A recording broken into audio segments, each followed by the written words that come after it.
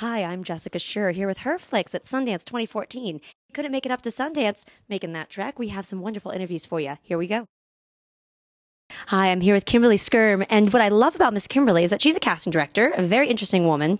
She's been working on House of Cards, and what I was wondering is how many more female roles do you see towards male roles, or is it reverse? How many male roles do you see to female roles?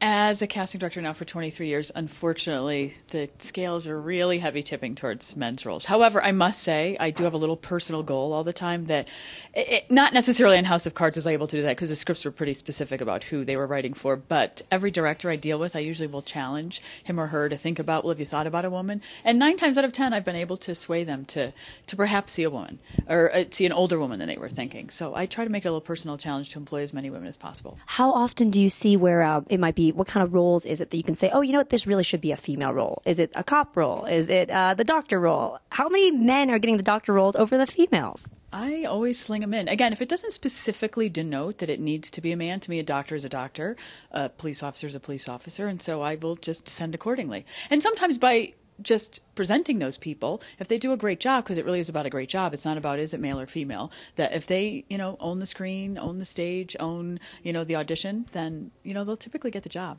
Uh, what have you found challenging about casting?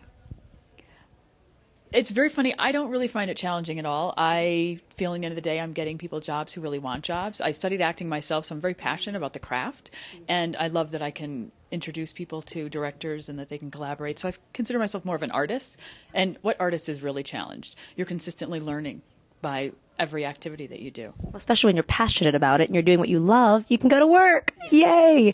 Uh, now, you also are on the board of WIFTI, which is Women in Film and TV. And you can tell me a little bit more about that. Yes, Women in Film and Television International. Fortunately, I am the chair of the board. And I say fortunately, usually people who are board chairs are not fortunately saying they're doing it. But I have the pleasure of working with an international group of women that are overseeing and collectively putting together programs and just even president's calls every other month for all of the international presidents of the various chapters so that they can collaborate and see what other people are doing and help each other out. And this has been a herFlix moment.